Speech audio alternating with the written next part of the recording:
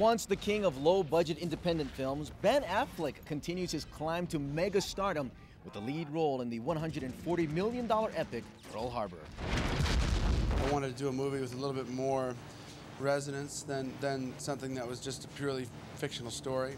And uh, I thought that, that I've always been interested in history myself, and uh, although the Pacific Campaign of the Second World War was not something I knew a whole lot about, so I was interested in that. Pearl Harbor is a tale of two childhood friends who grow up to be American fighter pilots, and somewhere along the way, they fall in love with the same woman. This tale of love takes place against the backdrop of the historic attack on Pearl Harbor. Kate Beckinsale plays the U.S. Navy nurse who is the object of the two men's desires. Josh fans, Ben fans, they probably, probably want to know which of the two is the better kisser. Both get a 10. They were actually, you know, as an actor, you just hope that you don't get any horrible surprises, like, you know, bad breath or false teeth or biting or, you know, something. And they were both lovely, very gentle. But the movie is also about the events surrounding the Japanese attack on Pearl Harbor. And while the same special effects team that brought us the Star Wars movies and Jurassic Park offers up a stunning recreation of that fateful December day in 1941, the film's stars want moviegoers to remember what they say is the film's central message. It would be good for a younger generation of Americans to see the, the sacrifice and the enormous effort and the, the, the real terror of war, how awful and terrible it was, and, and, and what a debt of gratitude we owe to those uh, great Americans who fought it. I think they're the real stars of this premiere and this production, and I can't wait to, to, to, to meet them and uh, just hold their, hold their hands and, and, and then thank them as, uh, as, is, as is necessary when, uh, when, you, when you meet someone of, of, of that caliber of hero.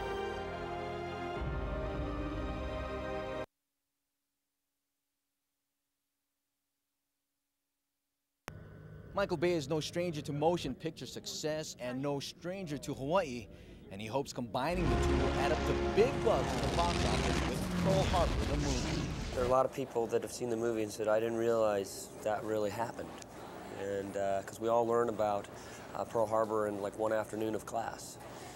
And uh, it's just, a, it's, it, it, it shows you, it demonstrates what that generation was all about, how innocent they were, um, and how our country was able to step forward and rise from the ashes. And Bay says he won't hesitate to bring future projects to the islands.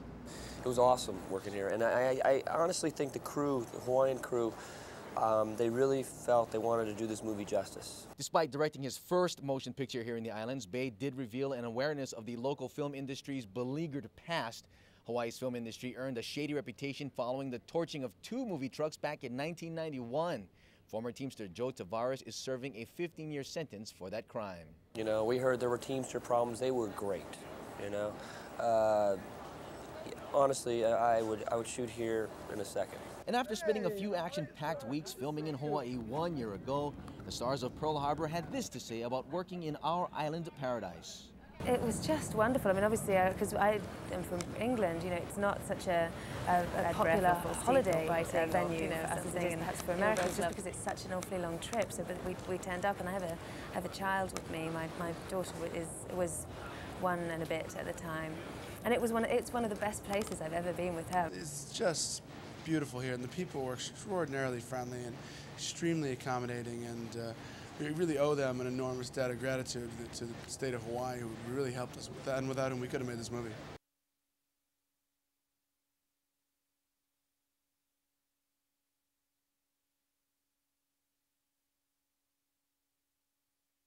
What was the one big reason why you did this movie? Well, there are a couple of reasons. One is I thought it was going to be, I thought it could be a very powerful and, and affecting movie, and I thought that I wanted to do a movie with a little bit more resonance than, than something that was just a purely fictional story. And uh, I thought that, that I've always been interested in history myself, and uh, although the Pacific Campaign of the Second World War was not something I knew a whole lot about, so I was interested in that. I also thought that it would be good for a younger generation of Americans to see the, the sacrifice and the uh, enormous effort and the, and the, and the real terror of war, how awful and terrible it was, and, and and what a debt of gratitude we owe to those uh, great Americans who fought it. Yeah, it's action-packed. For you personally, how physical, physically draining was this movie? Uh, you know, more than most. Um, you know, was, you know, you come home with bruises and stuff, but you always had to remember that uh, you know I was just pretending to be shot at, and when it really happened, the guys were dodging real bullets. I don't think they were worried about the scrapes on their knees. So uh, uh, we did okay. It was just a lot. It was a lot of work. It was a lot of you know. It was, it was just a, it was pretty good workout every day. Actually, having said that though, when you're on Ford Island and shooting the shots and they got the explosions going off, was there a time when you got a chance to sit down and take a look at Pearl Harbor, and did it ever dawn on you, like you've just described, that dang, this place got hammered? Yeah, there was a couple of there's there's some there's a place on Ford Island actually where they still there's still you can see where the bullet hits in the cement, for example, and uh, and then of course we we, we attended a, a, prayer, a wine prayer ceremony that accompanied a, a wreath laying at the Arizona Memorial uh, uh, before we began shooting, and that was that was pretty affecting because the boat is still there and still leaking oil, and it's the tomb of 1,177 men. And uh, that made me think, you know, it really, it really set the place and set the, the, the sense of uh, perspective for me. It's still very hard to imagine what it would be like to look over those hills and see a hundred planes coming. I mean, I can't even imagine really what that must have been like. But, uh, but we, but I tried. So what was like having a project like this in Hawaii? It was great. I mean, I, I'd like to do all the every movie in Hawaii. I mean, this is a it's a well-deserved reputation for being a paradise. It's just a gorgeous, gorgeous place. Uh, I never got to get off of Oahu because I was working so hard, but I understand Maui and Kauai are really beautiful as well, and um, and even more so, in fact, because they're not as, as developed. But it's it's just beautiful here, and the people were extraordinarily friendly and extremely accommodating, and uh, we really owe them an enormous debt of gratitude to the state of Hawaii, who really helped us with that, and without whom we could have made this movie.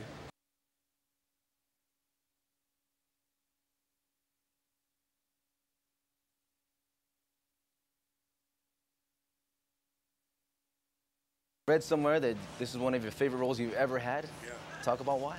You know, movies like this that they're going to make and uh, on a subject that's as worthy as this and they're going to spend this kind of money on, they're really like once in a lifetime. So when they asked me if I wanted to be in the film, you know, uh, that was a great opportunity. And then when they asked me to play this character in the film, who was such a, a great, great hero uh, in U.S. military history, it was even a bigger privilege. Having said that, uh, you had to do the research on Doolittle. You played the role. Let's talk about what that encompassed for you, what that meant to you to play this man. Well, Doolittle is somebody who the, the raid on Tokyo was really the culmination of a huge career he had in military aviation.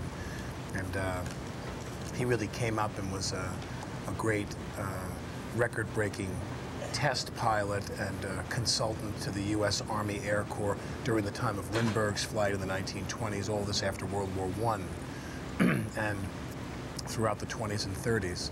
And Doolittle was called in as a reservist uh, when this uh, attack uh, happened. And, uh, uh, you know, this is a guy that just had so many achievements in his, in his life in military aviation. And then they asked him to try to figure out how to reverse what was this very demoralizing time for Americans. When Pearl Harbor was bombed, you, can't even imagine just how unsafe people felt that we were attacked on our own soil, even though it was, you know, out in the ocean um, for the first time. And they came to him and said, can you come up with something? And when he said they were going to launch bombers off the deck of an aircraft carrier and go bomb Tokyo, people thought, okay, great. You know, let's see if you can really pull that off. And they did. You just mentioned how the task of trying to do something like that, I did get to see the movie. So we got to see that whole, a whole uh, plan unfold. Having said that, knowing what you know about the raid on Tokyo, how, what kind of parallels would you draw between that and Michael Bay trying to put this movie together? That's a very good question. That's a very good question. Um, I think that when you do a movie like this, there's a, you know, there's a, there's, it costs a lot of money, you know, and, and, and, these companies that make these films today, they're, they're just loath to want to spend that kind of money and, and not do it properly. And uh, I guess Bay really is like Doolittle in that sense that if you're going to give anybody the resources to make this film, you want it to be the right guy. And Bay is the right guy. I mean, he's probably one of the greatest action filmmakers. He's one of the two or three greatest ones now in, in this business. I mean, you know, Cameron and John Woo and people like that. Bay is really one, one of the top people now. And he's been working his way up toward that with each film he makes. And now but the other great thing about him is he's a great storyteller. When I worked with Bay, it wasn't about explosions and bombs. It was about um, understanding who the people were and what they wanted at that particular time in the story. And uh, I, I say this to you genuinely. He was one of the best directors I've ever worked with in my life. I really, really like him a lot. Great guy. You had a chance to work in flight simulators. Uh, was, what kind of adventure was that, and how well did you do? I did great flying the plane. I would take off pretty well. I would fly the plane. I was excellent in helicopter flying and uh, shooting my targets. Bombing, I was great. Bombing, guns, artillery, all that stuff, I was great. But I think uh, every time I crashed the helicopter on the landing. So landing is an important skill to develop when you're going to begin the, in the helicopter corps. When I went to Dothan, Alabama, to the air wing there, and they put me in the simulator, everything was great right up until when I crashed the helicopter. And I crashed it every time. Got him good. Yeah. Getting the wrap. Thank you for your time. Yeah. Thanks.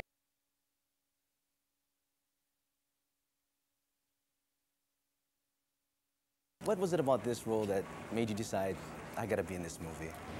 It was just when I read the script, I mean, it's just so unusual these days to read uh, an epic of this scale, you know, which is uh, about such an extraordinary event and has these wonderful characters with their own personal journeys in it. And this character was, you know, it's, it's not that often you get to play a woman who has this amazing love story that's complicated and difficult and also has to kind of rise to the occasion, you know, as a nurse also. I mean, it, it was just a real dream part for me. Uh, Josh fans, Ben fans, they probably, probably want to know which of the two is the better kisser. I've been asked this a few times, and I actually forgot to find out what did they say about me, because that could affect my vote. Nothing but stellar remarks. Okay, both get a 10. They were actually, you know, as an actor, you just hope that you don't get any horrible surprises, like, you know, bad breath or false teeth or biting or, you know, something. And they were both lovely, very gentle. and gentlemen. yes, gentlemen. Now, in the trailer, and I did get a chance to see the movie, there's a scene where the attack happens and then the nurses come into play, and it's really intense. And as you were filming these scenes, you know, at some point, because of this, the, the, where you are and you look around at Pearl Harbor here, what were some of the, the images that came across your mind as you were actually doing the movie? Well, obviously, we all had done a lot of research for the movie, so we were very familiar with, you know, a lot of the things that had gone on. And, and, and filming the movie, you know, we were here for the first five weeks, which I think was very important because you just, it didn't kind of so much as strike you, you know, now and again, you were just constantly aware that here you were filming this true story right in the place where it happened everybody that you came into contact with from here, you know, had some personal story to tell you about someone in their family um, who was affected. So it was a wonderful way to start the movie. I think it, it, you know, obviously we all wanted to be as responsible as we possibly could, and you just couldn't forget. Here we are. You're an island girl yourself, so to speak. Uh, what was it like having this project here in Hawaii? It was just wonderful. I mean, obviously, because uh, I am from England, you know, it's not such a, a, a popular holiday uh, venue for us as it is perhaps for Americans, just because it's such an awfully long trip. So we, we turned up, and I have a, have a child with me. My, my daughter is, was one and a bit at the time. And it was one, it's one of the best places I've ever been with her. I mean, that's, you know, obviously my first concern is, you know, are there good beaches and nice people for her to play with? And, you know, that was just fabulous. How were the people here? Were treating you okay? Oh, just wonderful. I mean, I couldn't have a, a more nice time than we've been having, you know, from people in the zoo, you know, where we take the baby to people that were on the set. It's been great.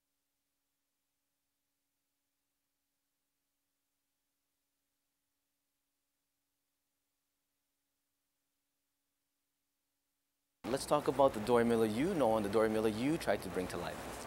I just, uh, I wanted to capture an es essence of this man's spirit, of his heart. I wanted to show that, that uh, you know, his act was truly and completely selfless. He uh, felt, you know, a desire to protect his fellow uh, military men, and for that fact, he, he gained the uh, Naval Cross. And to me, that was very important to get across in his, his, his makeup, his personality.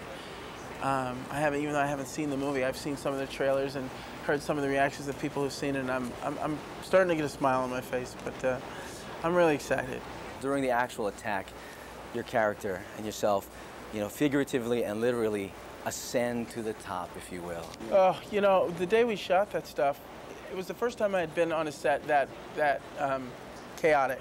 I, had done some uh, squib hits before and, and, been around explosions, but never in an array like that. I mean, we had uh, a thousand stuntmen and we had uh, big gas bombs and and we had uh, you know pe wounded people around us and blood and guts and I mean it was really visually something that I can't quite explain to you. Then they trained us on uh, uh, how to use the different weapons that are going to be fired that day. And when they put me on that gun and feel the percussion blast, it, I mean, what I'm trying to say is physically, I had all the preparation I needed. Mentally, I, I, uh, I knew the role that I had undertook. I knew what my character was trying to do, and I emotionally um, was just overcome.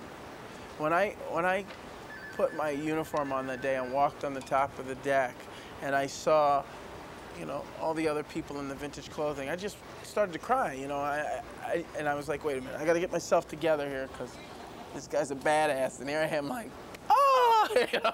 So, so then they put me on the gun and they said, roll camera. Great, just my car's here, so I gotta be quick. I, I put put the uniform on and you know I put the earplugs in and then they did the makeup and they set all them orders and they the planes were coming in and it just I was overcome with emotion. I mean I don't know what else to say. I just know that it was one of those times as an actor I, I had to fight back from getting in the character. You know what I mean? Because it was uh, it was fun. It was fun stuff. How about packing the big gun though? Well, you know, brother does that every day. No, I. I'm I'm just. Uh, yeah, that, that was scary. That stuff was scary. That was. Uh, it's insane to think how you know these men. they jump on these things. It was it was awesome. It's an experience I'll never forget. Now, we've seen a lot of the men here come and gravitate to you, and they're going to be watching this film. What is the one thing you want, not only the, the military, not only the veterans, but everybody to take away from your role and your performance in this film? Hey, man, there's some women gravitating too now. All right. Um, you know, just like you said at the beginning of this interview, that a lot of people here in Oahu know uh, of uh, Dory Miller and what type of man he is. The world knows of him. That would be my goal. Um, you know, I just hope people come and don't get scared off if they don't enjoy war movies or men don't get scared off because they think it's a romance or kids don't get scared off because they think it's a history lesson. I think it's a little bit of all of that and that together it makes one hell of an experience.